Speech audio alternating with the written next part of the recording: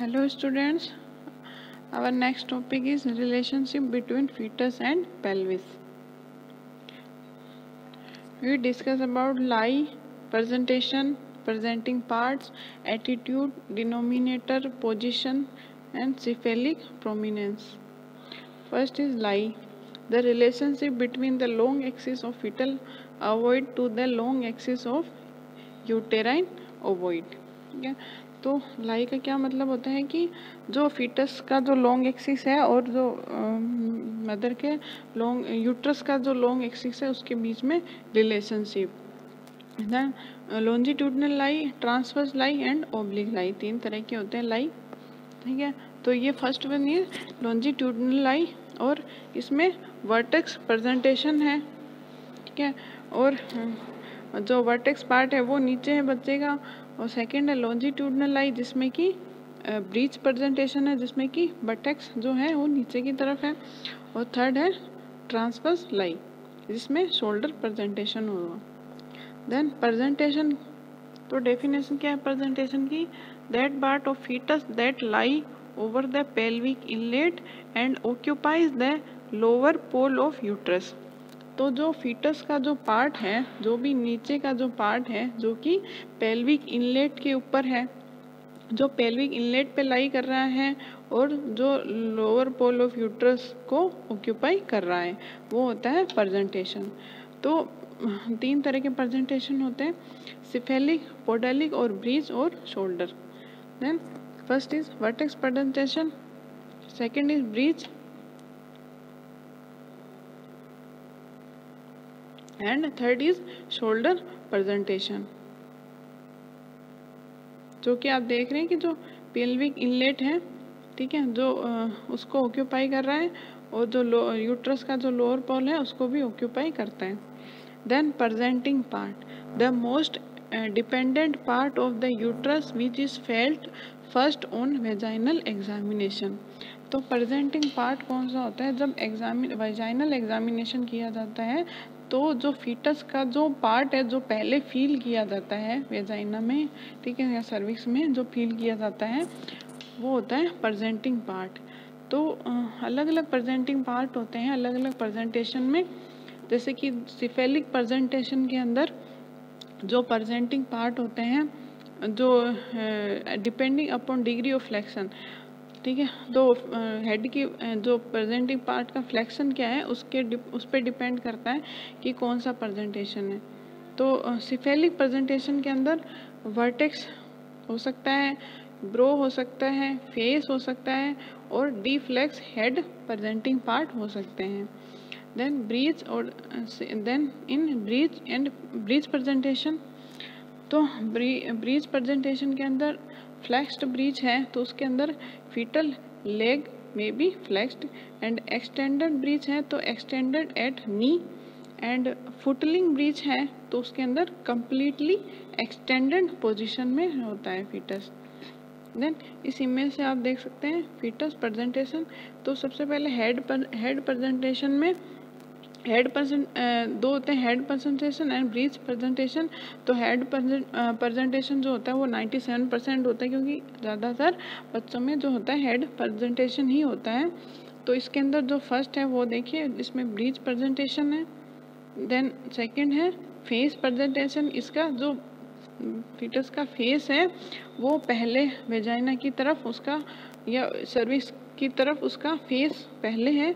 उसके बाद में ये third one is vertex presentation इसका वर्टेक्स पार्ट है देन ब्रो प्रेजेंटेशन ठीक है, उसके बाद में ब्रीज प्रेजेंटेशन में क्या होता है? फ्रैंक प्रेजेंटेशन और कंप्लीट ब्रीज और फुटलिंग ब्रीज जिसमें एक फुट भी जो हो सकता है उसका पहले प्रेजेंटिंग पार्ट में हो।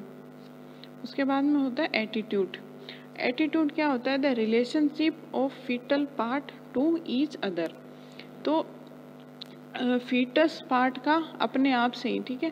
फीटस पार्ट का अपने आप से ही एक दूसरे से क्या रिलेशनशिप है, ठीक है? तो इसके जो मेन जो होते हैं, वो दो होते हैं फ्लेक्शन और एक्सटेंशन तो जो होता है typically foetal attitude universal flexion तो यूनिवर्सली क्या होता है फीटस फ्लेक्शन पोजीशन में ही होता है, ठीक है? With head flexed over chest arm and leg flexed in front of the body and back curved forward जैसे कि इस इमेज में है। इसमें कि हेड भी फ्लैक्स है, ठीक है? चेस्ट की तरफ़ और आर्म और लेग है, वो भी फ्रंट बॉडी की तरफ़ फ्लैक्सड है और जो बैक है, वो भी कर्व कर्व्ड है। And anterior posterior diameter of foetal head then anterior posterior diameter of foetal head में क्या देखते हैं? एंटीरियर पोस्टीरियर डायमीटर इसमें सब ऑक्सीपिटो ब्रैगमेटिक जो डायमीटर होता है वो nine nine point four centimetre होता है। जिसके अंदर एटीट्यूड कौन सा होता है? कंप्लीट फ्लैक्शन होता है इसके अंदर। और प्रजेंटिक पार्ट जो होता है वो है, वो होता है वर्टेक्स ऑक्सीपिटो एंटीरियर जो होता है वो प्रजेंटिक पार्ट होता है। उसके बाद में सब ऑक्सीपिटो फ्रंटल जो होता है वो टेन पॉइंट फाइव सेंटीमीटर का होता है। ठीक है, और इसके अंदर एटीट्यूड होता है, वो इनकम्प्लीट फ्लैक्शन का होता है, और प्रेजेंटिंग पार्ट जो होता है, वो वर्टेक्स या ऑक्सीपिटो पोस्टीरियर प्रेजेंटिंग पार्ट इसमें होता है। देन ऑक्सीपिटो फ्रंटल जो एंटीरियर पोस्टीरियर डायमीटर होता है, वो ऑक्सीपिटो फ्रंटल वो 11 सेंटीमीटर का होता है, इसमें डी फ्लैक्सड होता है एटीट्यूड और इसके अंदर वर्टेक्स प्रेजेंटेशन होता है, ठीक है। वर्टेक्स ऑक्सीपिटो पोस्टीरियर प्रेजेंटेशन होता है। इसके अंदर भी, उसके बाद में वेंट्री कमेंटल वेंटिगोमेंटल जो एंटीरियर पोस्टीरियर डायमीटर होता है, वो 3.5 सेंटीमीटर होता है। इसमें एटीट्यूड जो होता है, वो एक्सटेंशन होता है और प्रेजेंटिंग पार्ट इसमें ब्रो होता है। देन सब मेंटो ब्रैगमेटिक 9.4 सेंटीमीटर का डायमीटर होता है। इसके अंदर एटीट्यूड जो होता है, वो कंप्लीट फ्लेक्शन होता है और इसमें प्रेजेंटिंग पार्ट फेस होता है।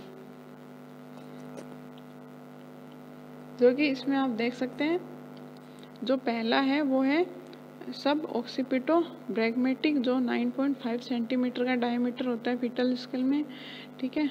और उसके बाद में ये है ऑक्सीपिटो फ्रंटल ठीक है? ऑक्सीपिटो फ्रंटल है, जो है 12.5 सेंटीमीटर का, ठीक है? और उसके बाद में वर्टिको वर्टिको मेंटल ठीक है? ये है थर्ड जो सी है, वो है वर्टिको मेंटल इसमें जो डायमीटर है, वो 3.5 सेंटीमीटर का है, ठीक है? और उसके बाद में है सब मेंटो ब्रैगमेटिक ठीक है जो सब मेंटो मेंटम के नीचे से शुरू होकर वर्ट जो है, ब्रेगमा तक जा रहा है ये तो ये है नाइन पॉइंट फाइव सेंटीमीटर का। उसके बाद में डिनोमीटर, और और इन, इनके अंदर पोजीशन भी आप देखिए इसके अंदर सबसे पहले ए वाले में है, वो कम्प्लीटली फ्लैक्स फ्लैक्सन पोजीशन में ठीक है कम्प्लीटली फ्लैक्सन पोजीशन में सेकंड वाला है इनकम्प्लीट फ्लैक्सन पोजीशन में उसका हेड है। ठीक है, और थर्ड जो है वो एक्सटेंशन पोजिशन में है और फोर्थ में है कम्प्लीटली एक्सटेंशन पोजिशन उसके बाद में डिनोमिनेटर डिनोमीटर डिनोमिनेटर कौन सा होता है? An arbitrarily chosen point on the presenting part of the foetus which use to describe the position जो जो फिटस का जो प्रेजेंटिंग पार्ट है पार्ट का वो पॉइंट जो कि उसकी पोजीशन को डिस्क्राइब करे, वो डिनोमिनेटर होता है। तो प्रेजेंटेशन ऑफ़ फिटस तो प्रेजेंटेशन ऑफ़ फिटस कैसे कैसे रिलेशनशिप होता है प्रेजेंटेशन एटीट्यूड और डिनोमीटर डिनोमिनेटर का? तो सबसे पहले सिफेलिक प्रेजेंटेशन के अंदर वर्टेक्स ऑक्सीपिटो एंटीरियर अगर प्रेजेंटेशन होगा तो उसमें एटीट्यूड होता है फ्लेक्शन और डिनोमीटर डिनोमिनेटर होता है उसमें ऑक्सीपुट ठीक है? तो क्योंकि उसमें ऑक्सीपुट ही दिखता है और वर्टेक्स ऑक्सीपुटो पोस्टीरियर में इसमें एटीट्यूड होता है डिफ्लेक्शन और इसमें भी ऑक्सीपुट ही डिनोमिनेटर होता है. उसके बाद में ब्रो प्रेजेंटेशन में एटीट्यूड होता है एक्सटेंशन और इसमें डिनोमिनेटर भी ब्रो होता है. ठीक है, जो कि उसको, ये डिनोमिनेटर क्या है कि जो फिटस पॉइंट होता है ना, जो उसकी पोजीशन को डिस्क्राइब कर रहा है तो ये पॉइंट्स है जो जो उसकी, जो ये पोजीशन है ऑक्सी ऑक्सीपिटो एंटीरियर या फिर ऑक्सीपिटो पोस्टीरियर उसकी इन पोजीशन को डिस्क्राइब करता है कि इस पॉइंट पे ये पोजीशन है। उसके बाद में फेस तो इसमें कंप्लीट एक्सटेंशन होता है और इसमें जो डिनोमिनेटर होता है, उसमें चिन या मेंटम होता है। उसके बाद में पोडालिक या ब्रिज प्रेजेंटेशन के अंदर, जो डिनोमिनेटर होता है वो सैक्रम होता है, और शोल्डर प्रेजेंटेशन के अंदर जो डिनोमिनेटर डिनोमिनेटर होता है वो एक्रोमियन प्रोसेस होता है। उसके बाद में frequency of lie and presenting part frequency of lie and presenting part तो लाई अगर लॉन्जिट्यूडनल लाई है, ये 99.5 परसेंट तक लॉन्जिट्यूडनल लाई ही होती है।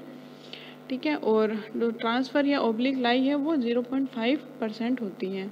तो इनके अंदर presenting presentation and presenting part तो जो वर्टेक्स प्रजेंटेशन है, वो 96 परसेंट होता है फेस जो होता है, वो 0.5 परसेंट बेबीज़ में होता है ब्रो प्रजेंटेशन होता है, वो भी 0.5 परसेंट बेबी में ही होता है और ब्रीथ प्रेजेंटेशन होता है, वो थ्री परसेंट में होता है और शोल्डर प्रेजेंटेशन होता है, वो ज़ीरो पॉइंट फाइव परसेंट में होता है।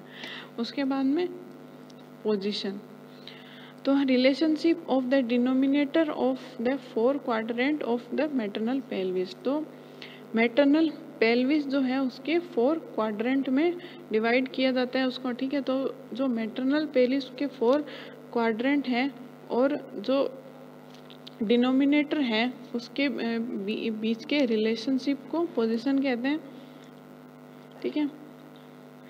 और जिसके अंदर जो ये मेटरनल पेल्विस हैं, उसके अंदर जो ये गोलाई में, जैसे कि मेटरनल पेल्विस मान लीजिए आप, और जो ये पोजीशन लिखी हुई है, ये डिनोमिनेटर है, ठीक है?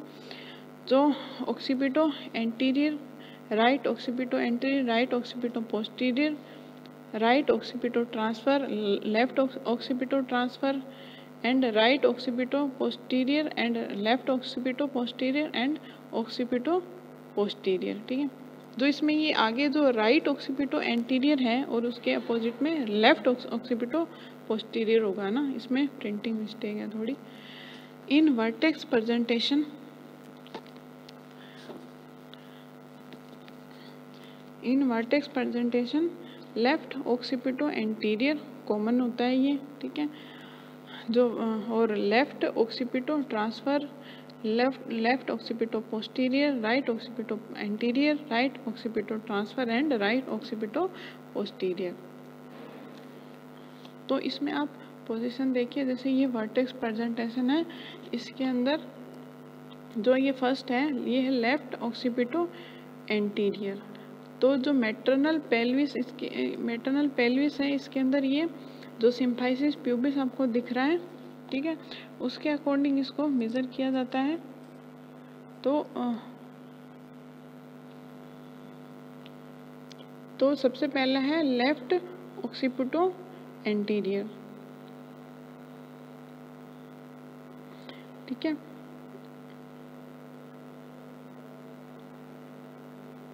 उसके बाद में सेकंड है लेफ़्ट ऑक्सीपिटो ट्रांसफर्स इसमें ट्रांसफर्स लाइन में है। तो इसमें जो लेफ़्ट ऑक्सीपिटो एंटीरियर है, उसमें ऑक्सीपिट है वो एंटीरियर साइड में दिख रहा है, ठीक है? और लेफ़्ट साइड में मेटरनल पेल्विस के लेफ़्ट साइड में है। और लेफ़्ट ऑक्सीपिटो ट्रांसफ़र में ट्रांसफ़र पोजिशन में है, ठीक है? और लेफ़्ट ऑक्सीपिटो पोस्टीरियर में जो है वो जो जो ऑक्सीपुट है, वो पोस्टीरियर साइड में है पेल्विस के और लेफ़्ट साइड में है। देन उसके बाद में फेस प्रेजेंटेशन में left mento anterior left mento transverse and left mento posterior then please presentation के अंदर भी ऐसी ऐसी जो पोजीशन है, वो होती है फीटस के हेड की।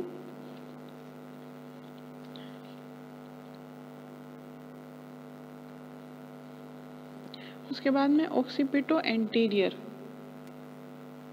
तो ऑक्सीपिटो एंटीरियर है। उसके अंदर आप देखिए कि इस तरह की पोजीशन होती है जो जो सिम्फाइसिस प्यूबस है, ठीक है? और सिम्फाइसिस प्यूबस के अपोजिट में जो मदर का जो पोस्टीरियर पेल्विस है। उसके, उसकी तरफ़ देखिए आप कि जो है, ब्रेगमा है, ठीक है?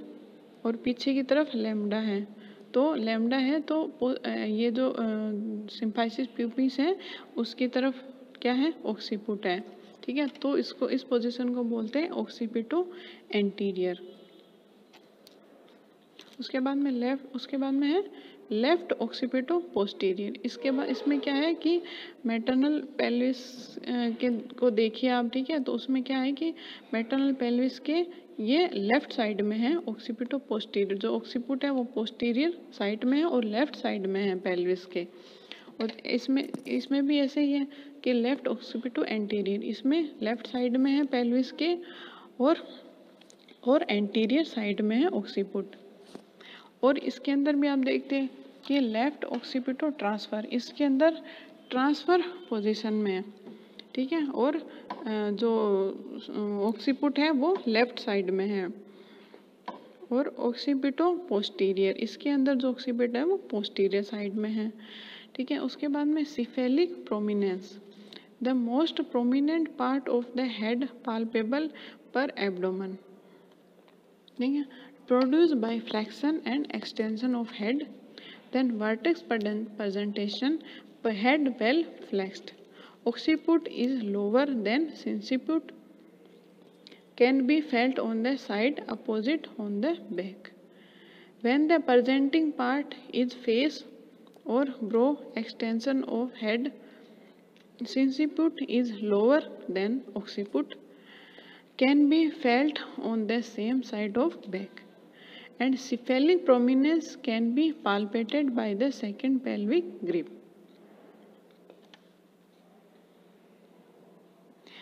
When no cephalic prominence is felt, there is neither flexion nor extension.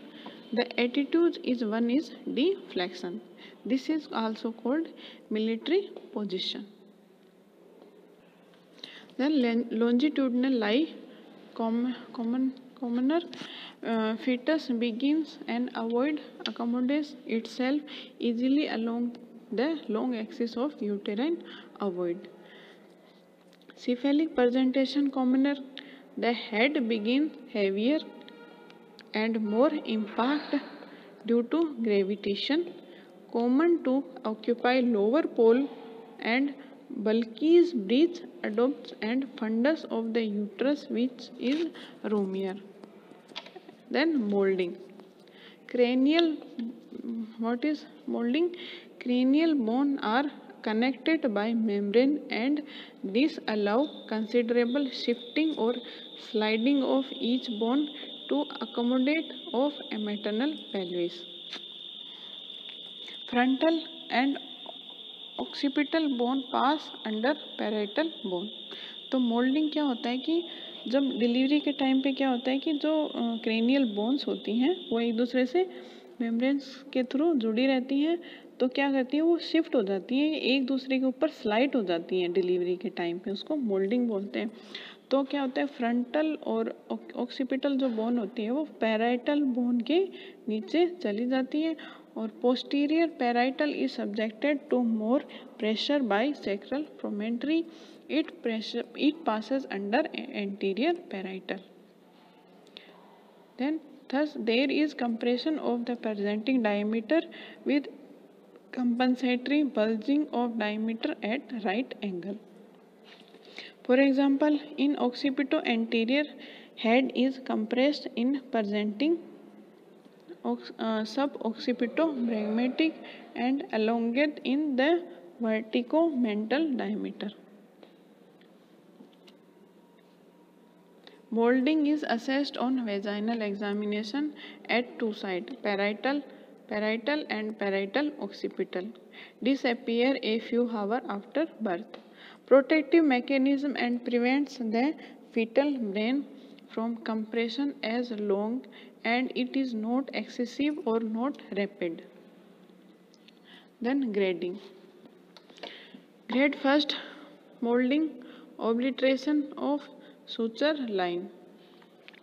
So ठीक है grade second plus plus moulding reducible overlap and grade third plus plus plus moulding irreducible overlap pathological this is pathological Then clinical significance of molding, some amount of molding is beneficial and this is one of the factor which decided the success of trial of labor. Severe molding can lead to intracranial hemorrhage. The site of molding give information about the position of the head. Okay. Thank you.